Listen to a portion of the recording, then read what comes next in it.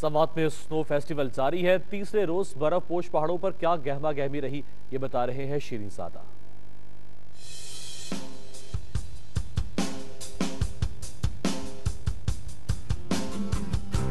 قدرتی حسن سے مالا مال وادی سوات میں ان دنوں عید کا سما ہے۔ برف کی چادر اڑے پہاڑوں پر ہلا گلا جاری ہے۔ سنو فیسٹیول میں آج کا دن خواتین کے لیے مخصوص کیا گیا تھا۔ بارہ سالہ عائشہ سکیٹنگ کا ٹورنامنٹ جیتنے کا عزم دل میں لیے کراچی سے ملم جبہ آئی ہے۔ گر کے انسان آگے بڑھتا ہے اور میں لوں گی حصہ اور مجھے پتا ہے میں جیتوں گی۔ برف کے کیلوں میں خواتین کے علاوہ ننے پرشتوں نے بھی حصہ لیا، جن کے چہروں پر خوشی کے پول کھلے تھے۔ زیادہ تر خواتین سکیٹنگ سیکھنے کی کوشش کر رہی تھی، جن کا یہ حال تھا کہ گرتے ہیں شاہ سوار ہی میدانی جنگ میں۔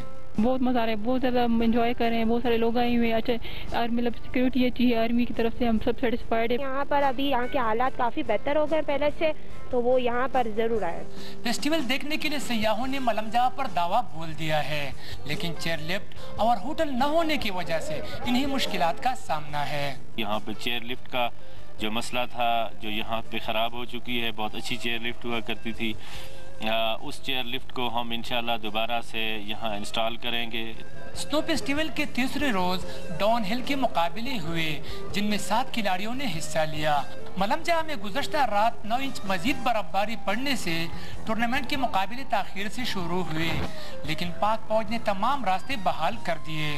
ملم جہاں میں جاری سنو فیسٹیول میں نہ صرف مرد بلکہ خواتین کھلاڑی بھی حصہ لے رہی ہے۔ شیرین زادہ ایکسپریس نیوز ملم جبا سوات۔